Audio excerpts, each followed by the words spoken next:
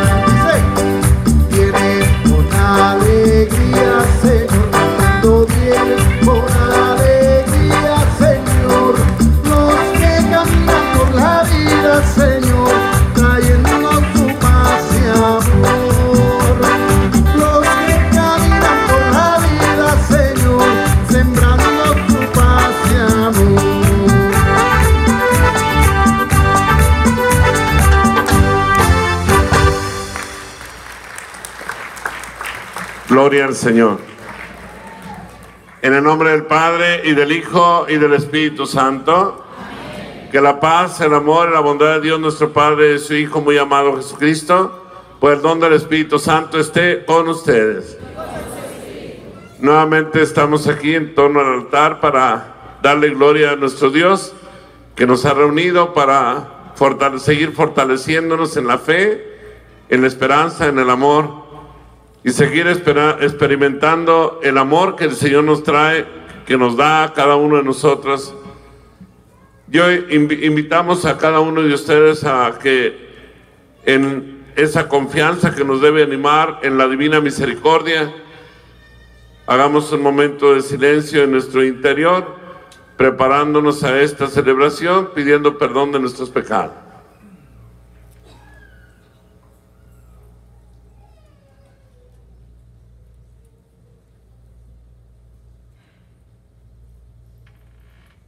Yo confieso ante Dios Todopoderoso y ante ustedes, hermanos, que he pecado mucho de pensamiento, palabra, obra y omisión. Por mi culpa, por mi culpa, por mi gran culpa. Por eso ruego a Santa María, siempre Virgen, a los ángeles, a los santos y a ustedes, hermanos, que intercedan por mí ante Dios nuestro Señor. Que Dios Todopoderoso, rico en amor y en misericordia, perdone todos nuestros pecados y nos lleve a la vida eterna. Tú que siempre nos perdonas, Porque nos quieres mucho, tú que siempre nos perdonas.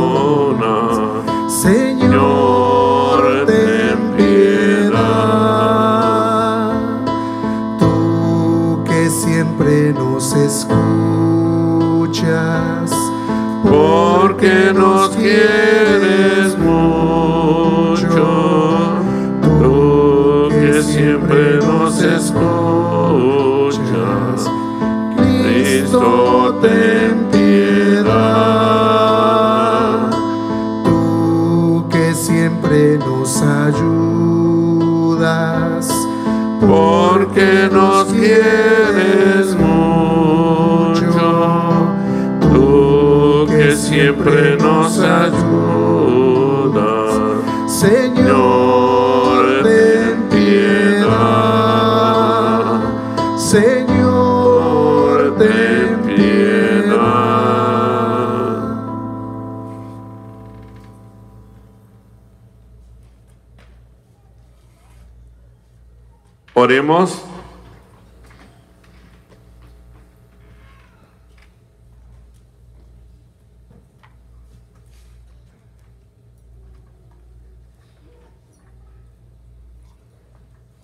Oh Señor y Dios Todopoderoso y Eterno, salvación perpetua de los que creen en ti, escucha nuestra oración por tus siervos enfermos, para quienes imploramos el auxilio de tu misericordia, a fin de que, re- recuperada la salud, puedan ofrecerte su acción de gracias en tu iglesia. Por nuestro Señor Jesucristo, tu Hijo, que vive y reina contigo en la unidad del Espíritu Santo y es Dios por los siglos de los siglos. Pueden sentar.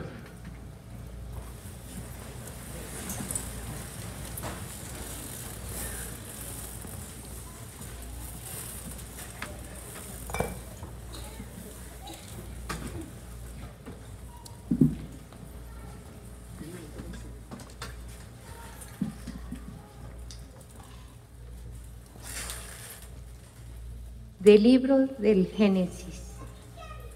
En aquellos días dijo el Señor Abraham, deja tu país, a tu parentela y la casa de tu padre para ir a la tierra que yo te mostraré. Haré nacer de ti un gran pueblo y te bendeciré. Engrandeceré tu nombre y tú mismo serás una bendición. Bendeciré a los que te bendigan, maldeciré a los que te maldigan. En ti serán bendecidos todos los pueblos de la tierra. Abraham partió como se lo había ordenado el Señor, y con él partió también Lot. Tenía Abraham 75 años cuando salió de Harán. Abraham llevó consigo a Sarai, su esposa, y a Lot, su sobrino, con todos los bienes que habían acumulado y los esclavos que habían adquirido en Harán, y salieron en dirección a Canaán. Llegaron a Canaán y Abraham atravesó el país hasta la región de Siquem y llegó a la encina de Moré. Por entonces habitaban allí los cananeos. El Señor se le apareció a Abraham y le dijo, a tu descendencia le voy a dar esta tierra. Entonces Abraham edificó allí un altar al Señor que se le había aparecido. De allí pasó a las montañas al oriente de Betel y plantó su tienda entre las ciudades de Betel, al poniente, y de Ai al oriente. También allí le construyó un altar al Señor e invocó su nombre. Luego se fue trasladando por etapas hacia el sur. Palabra de Dios.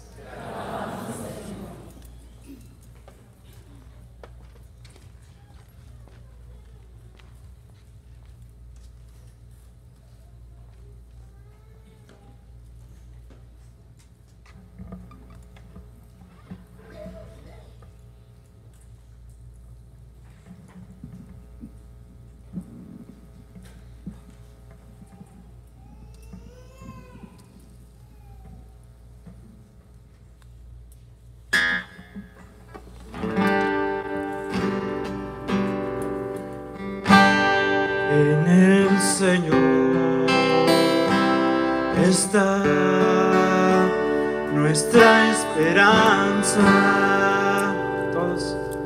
En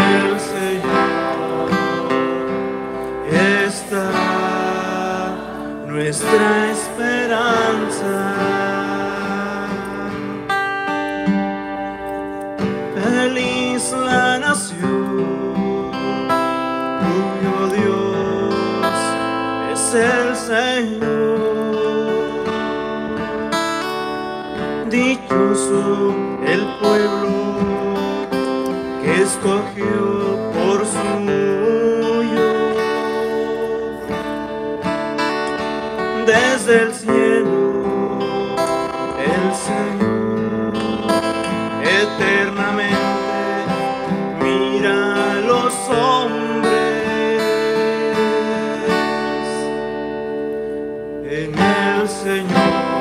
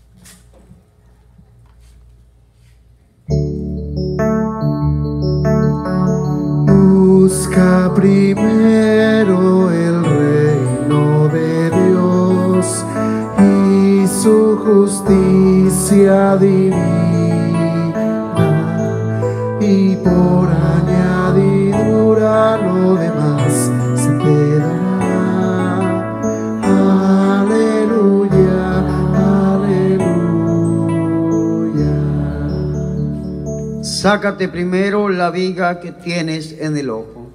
El Señor esté con ustedes. Proclamación del Santo Evangelio de nuestro Señor Jesucristo, según San Mateo. En aquel tiempo Jesús dijo a sus discípulos, no juzguen y no serán juzgados, porque así como juzguen, los juzgarán, y con la medida que midan, los medirán. Porque mira la paja en el ojo de tu hermano y no te das cuenta de la viga que tienes en el tuyo. ¿Con qué cara le dices a tu hermano? Déjame quitarte la paja que llevas en el ojo cuando tú llevas una viga en el tuyo. Hipócrita, sácate primero la viga que tienes en el ojo y luego podrás ver bien para sacarle a tu hermano la paja que lleva en el suyo. Palabra del Señor. que por las palabras de este santo evangelio sean perdonados nuestros pecados.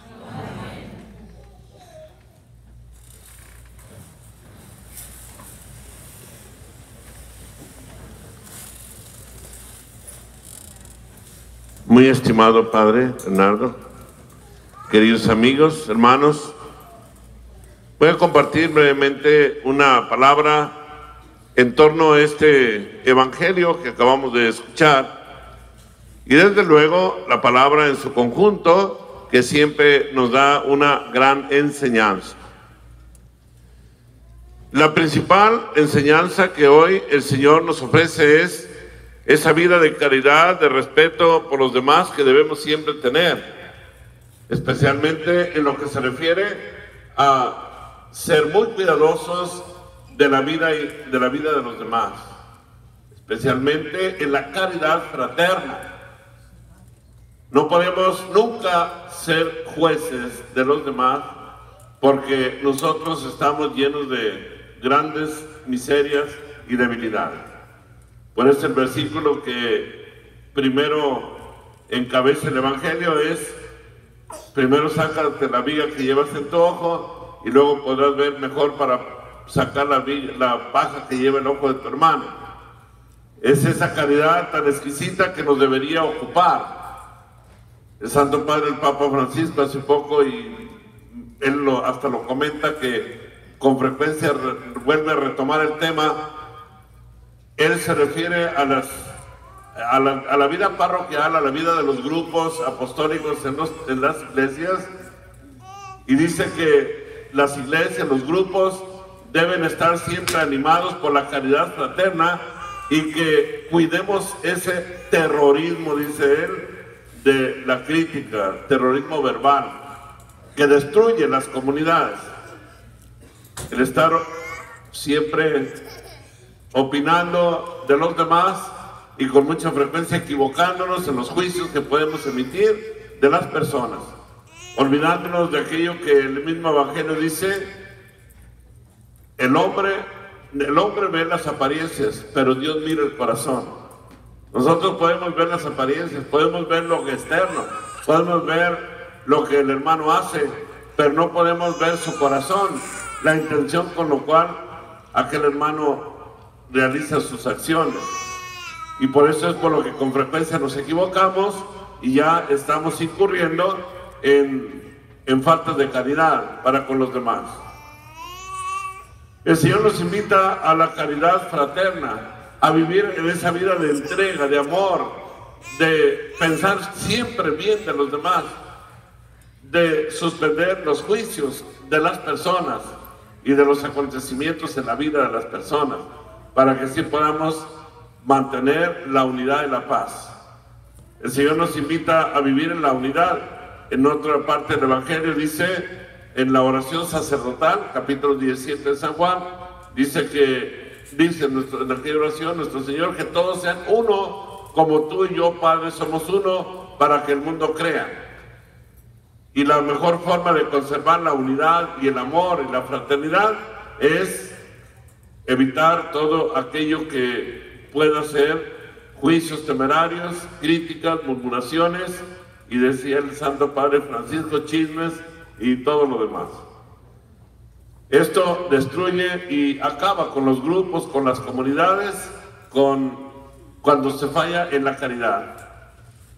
En estos días muchos de ustedes han participado en este encuentro, en este retiro.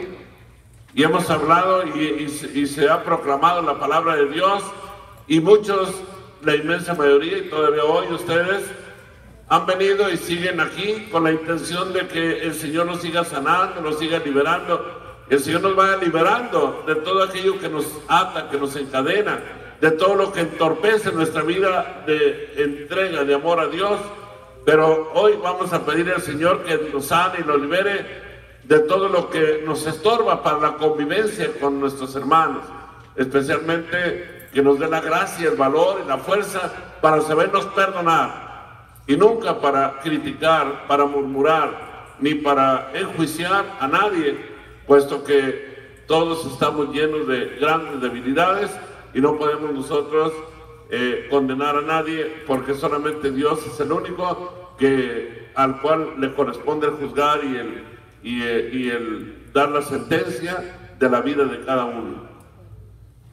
Yo quiero invitarles, pues, hermanos, a que aprovechemos esta Eucaristía, sobre todo para pedir don del amor, el don de la caridad, el don de la fraternidad.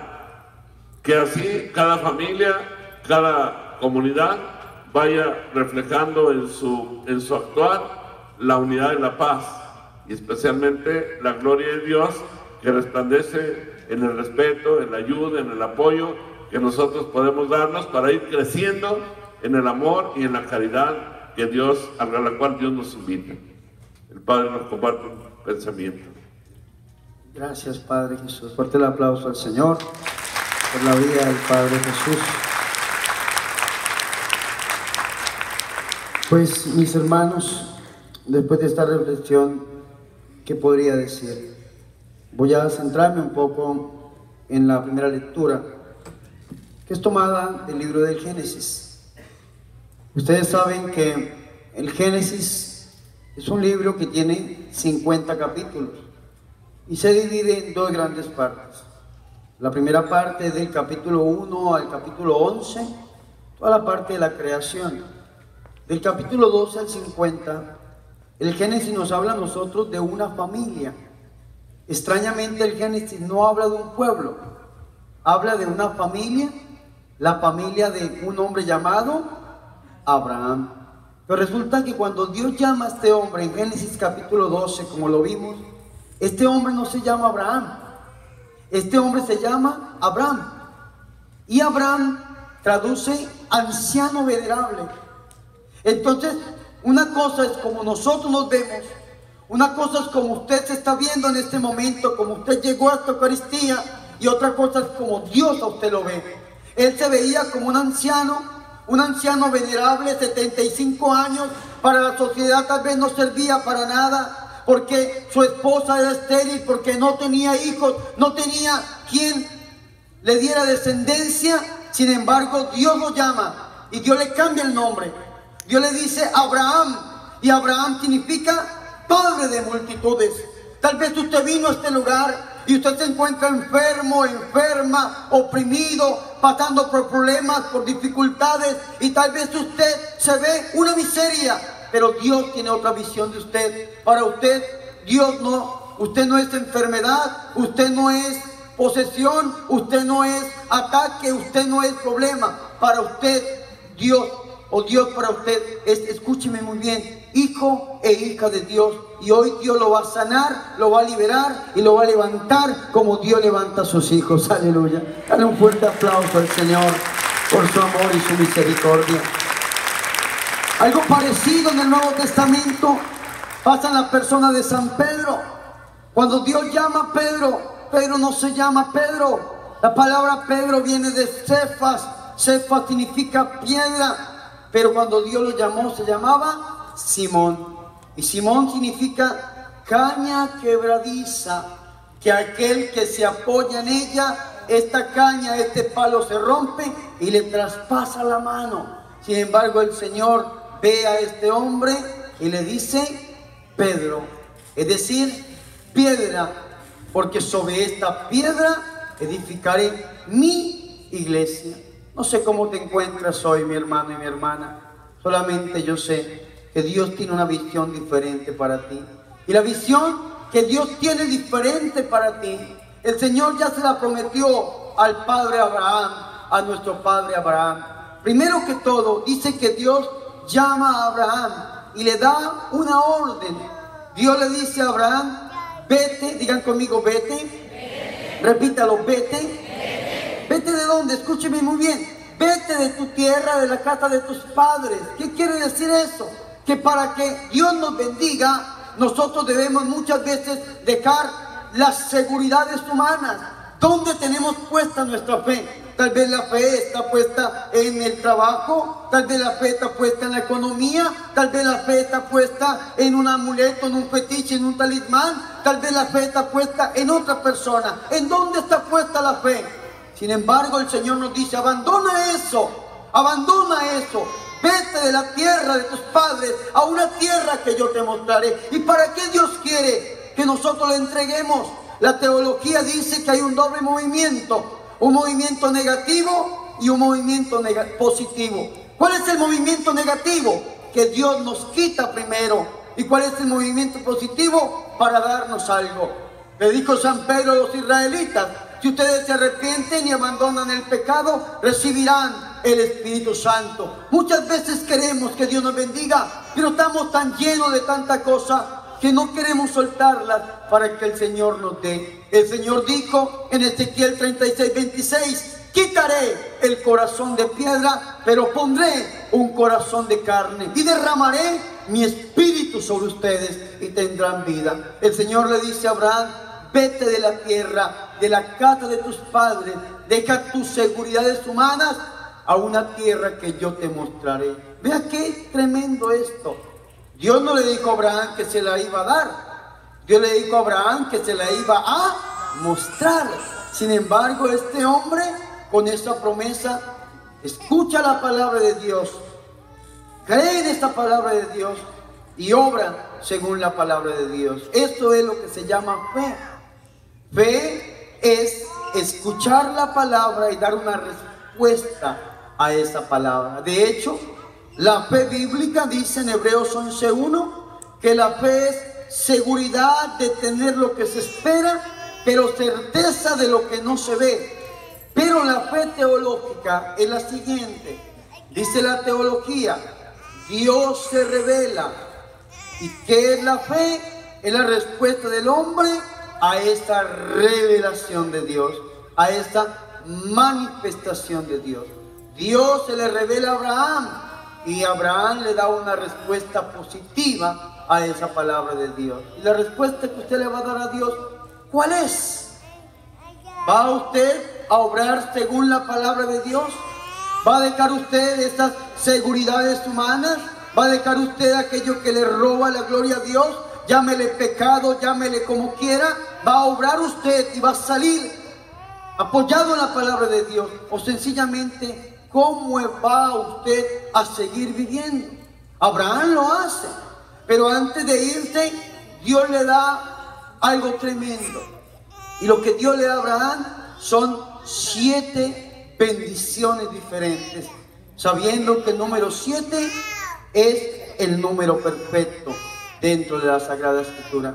Y si usted y yo hoy le obedecemos a la palabra de Dios, podemos gozar de estas bendiciones.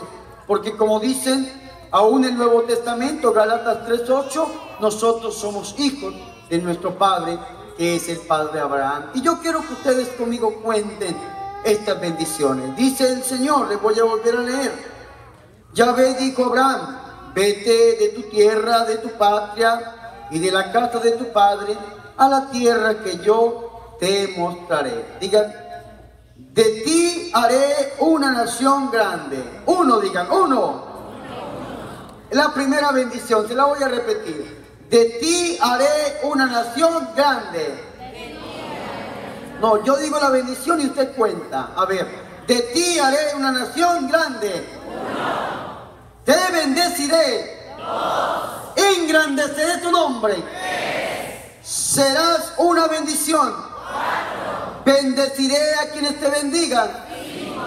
Maldeciré a los que te maldigan. Y por ti serán bendecidas todas las familias de la tierra. Siete bendiciones que Dios le promete a este hombre, a Abraham, que se hacen realidad en la vida de Abraham. Un hombre que para muchos era un anciano, 75 años, que tal vez en la época del padre Abraham, cuando Dios estaba con alguna persona, le daba mucha descendencia, cuando Dios no estaba con alguna persona, eran estériles sus esposas, era prácticamente una maldición. Sin embargo, Dios le promete a este hombre y estas bendiciones se cumplen. De ti haré una nación grande. Vean qué tremendo esto. Un hombre de 75 años con la esposa estéril y Dios le dice, de ti haré una nación. Es decir, Hoy el Señor, no importa cuál sea tu realidad, te está prometiendo que tu realidad será diferente. Si estás enfermo, Dios te está diciendo, te daré salud. Si estás oprimido, Dios te está diciendo, te daré libertad. Si estás pasando por problemas económicos, el Señor te está prometiendo que te va a prosperar al mil por uno, porque esa es la visión que Dios tiene para nosotros. Amén. Dale un fuerte aplauso al Señor.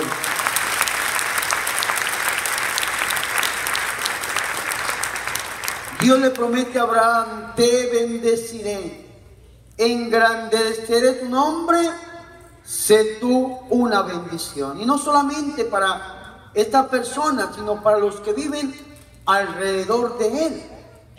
Para los que viven alrededor de él, Dios no solamente te quiere bendecir a ti, sino que Dios quiere bendecir tu familia, tus amigos, la gente que comparte contigo. ¿Y por qué dice eso, Padre? Porque dice Dios a Abraham, bendeciré a los que te bendigan. Digan conmigo, bendición. Repítalo, bendición. ¿Qué es la bendición? La palabra bendición viene de dos raíces latinas. Bendecir es decir bien, hablar bien o expresarse bien de algo o de alguien. Para yo bendecir a alguien, no necesariamente necesito decirle, bendito seas. Para yo bendecir a alguien, necesito hablar bien de esta persona. Necesito hablar bien de esta situación o hablar bien de este acontecimiento. Bendecir, decir bien, hablar bien. Pero dice el Señor, bendeciré a los que te bendigan. Qué bonito esto. Pero escúcheme muy bien, la otra cara de la moneda, maldeciré a los que te maldigan. Y escúcheme lo que le voy a decir. Si la palabra bendecir es hablar bien o expresarme bien, la palabra maldecir es exactamente lo mismo. Hablar mal o expresarme mal de algo o de alguien.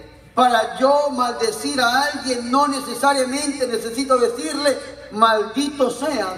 Solamente con hablar mal o expresarme mal de esta persona ya estoy maldiciendo. La palabra del Señor en el Evangelio de San Marcos, en el capítulo 11, versículo 2 en adelante, dicen que el Señor iba caminando y sintió hambre y al fondo vio una higuera. Acercándose, cayó en la cuenta que la higuera no tenía, no tenía fruto, no tenía higos.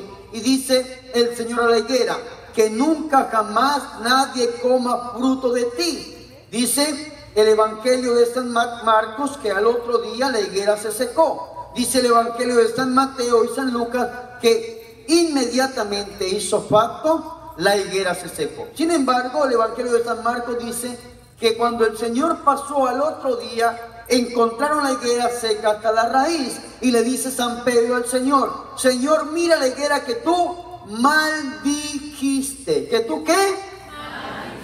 El Señor le dijo, maldita higuera. De ninguna manera. El Señor se expresó de una manera negativa. Que nunca jamás nadie coma fruto de ti. Sin embargo, nos da una escuela, una enseñanza de que cuando nos hablamos mal de algo, de alguien, podemos estar maldiciéndolo y esta maldición puede secar este acontecimiento. Muchas veces hemos maldecido la economía cuando nos expresamos mal de la economía o del empleo que tenemos. Muchas veces hemos maldecido hasta nuestra misma comida cuando expresamos mal alimentos que tenemos o a veces maldecimos los hijos cuando como papá o como mamá nos expresamos mal de nuestros hijos o de nuestras hijas. A veces, digo yo, con el respeto del Padre, muchos matrimonios dentro de la iglesia católica están maldecidos. ¿Y quién los maldijo? La suegra. La suegra. ¿Y por qué los maldice la suegra? Porque cuando conoce a la nuera o conoce al yerno, le dice al hijo, nunca vas a ser feliz con esa. Y ya está maldiciendo el hogar de su hijo antes de que inicie. Eso se llama una maldición. Se están lanzando palabras de maldición. Y entonces por esa razón algunos dicen que la palabra nuera significa es que no era padre. Es que no era, padre. Es que mi hijo va a ser infeliz con ella o mi hija con él. está maldiciendo usted el hogar de su familia. Dice la, Biblia en Eclesiástico capítulo 2, versículo 9. La bendición de un padre construye la casa de sus hijos, pero la maldición de una mamá rompe hasta los cimientos. Qué tremendo es esto. Entonces, ¿qué es lo que tenemos que hacer? Lo que tenemos que hacer es bendecir, hablar bien, expresarme bien para que esta bendición que Dios le prometa a Abraham se haga realidad en mi vida y en la vida de mi familia. Aleluya. Dale un fuerte aplauso al Señor por su amor y su misericordia. Ahora, Abraham es un hombre de Dios.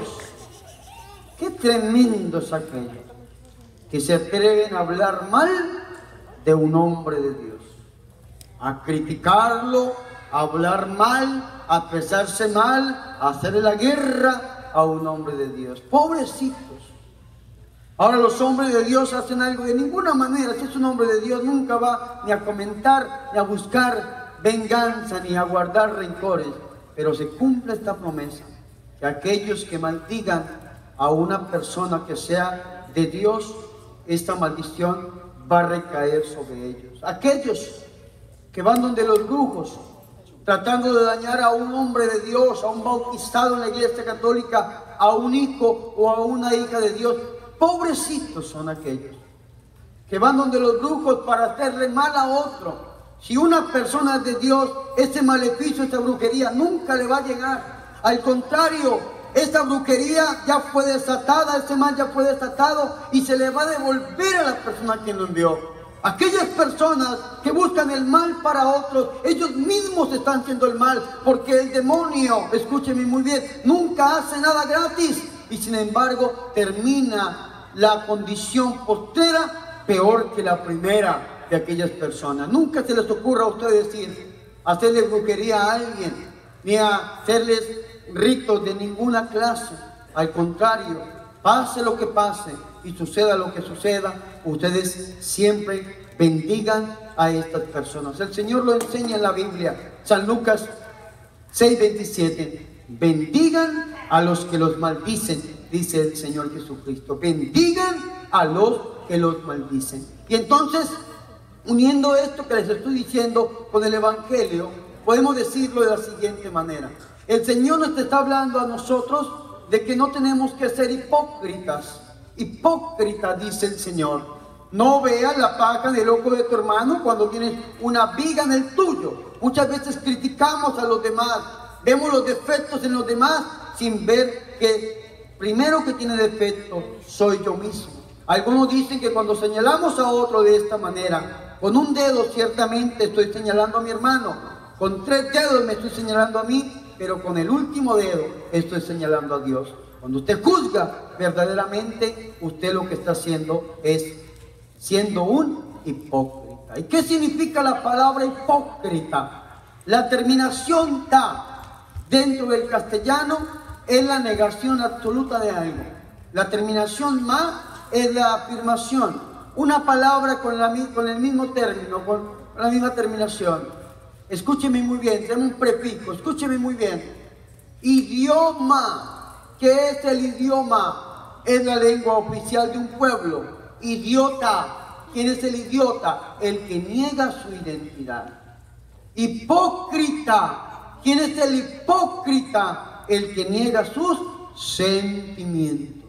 Que por dentro siente una cosa pero que por fuera demuestra algo diferente.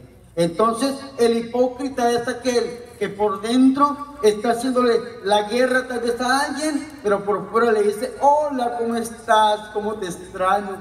Qué lindo eres, qué hermoso eres, esa naricita de Pinocheta, ¿cierto? Este es el hipócrita, el que por dentro siente una cosa, pero por fuera demuestra otra. Escúcheme muy bien, ¿Y cuál es la diferencia entre el hipócrita y el cristiano?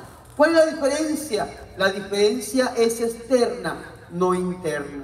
Puede que el cristiano también sienta, porque somos seres humanos y muchas veces nos resentimos y somos limitados y a veces sentimos diferentes cosas, pero por dentro pueda que sean iguales. la diferencia es externa. El hipócrita es aquel que por delante sonríe, pero por detrás clava el puñal a través de una palabra o a través de un acto. El cristiano es aquel que delante sonríe, pero por detrás lo único que hace es orar para que el Señor le dé el don de la sanación y de la conversión a esta persona que le hace la vida imposible. Amén. Dale un fuerte aplauso al Señor por su amor y su misericordia. Aprendamos a bendecir. Dios le dice a Abraham, por ti serán bendecidas todas las familias de la tierra. Esa bendición también es sobre nosotros. Y de hecho, el Padre Jesús es exorcista. A mí me encanta el ministerio, pero no lo soy. Cuando usted va donde un brujo o una bruja, que nunca lo he ido, para la gloria del Señor, pero podemos decir ese discernimiento. ¿Con qué trabaja el brujo o con qué trabaja la bruja? Con el sentimiento negativo que lleva la persona. Si usted, si usted va con odio, con resentimiento, con deseo de venganza, con ese sentimiento es el que trabaja el brujo o la bruja. ¿Y qué hace un brujo o una bruja? Un brujo o una bruja lo que hace es maldecir a aquella persona. Lo maldice a través del nombre, a través de la fecha de nacimiento, de prendas de vestir, a través de muñecos, lo maldice de diferentes maneras. Y lo que busca es que esa maldición se materialice en esta persona. ¿Y qué busca un exorcista? Yo sé que el Padre Jesús viene de una escuela muy fuerte de exorcistas, pero yo he leído algo sobre el tema. Cuando un exorcista va a ejercer un exorcismo sobre la persona, el término que utiliza es, te voy a bendecir te voy a dar una bendición. Porque la oración es una bendición. Usted vino hoy a que oráramos por sanación, por liberación. ¿Y nosotros qué vamos a hacer como ministros de Dios? Bendecirlos. Padre, sánalos. Padre, libéralos. Padre, bendícelos. Padre, manifiesta tu gloria. Son palabras de bendición. Son palabras positivas dadas a Dios para que Dios en su misericordia mueva su mano y ustedes de aquí salgan sanos y salgan libres, bendecidos, protegidos y en victoria para la gloria y honra del Señor y Salvador Jesucristo. Aleluya.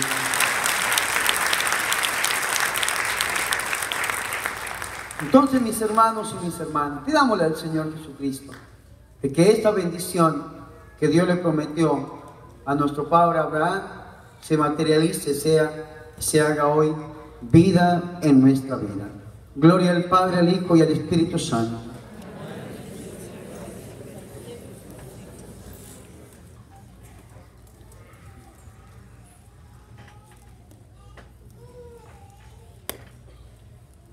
Vamos a cantar para presentar las ofrendas de pan y vino. Ahí en el altar presentamos todas nuestras necesidades, todas nuestras peticiones y súplicas.